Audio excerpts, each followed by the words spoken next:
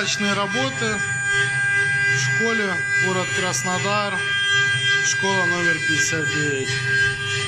Вот у них класс трудов.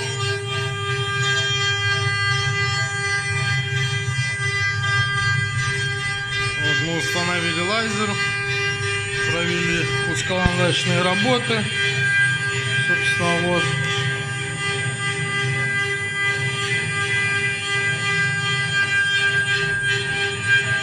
Здесь у них распиловочные, токарные.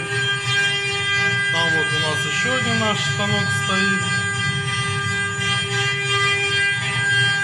Вот как-то так.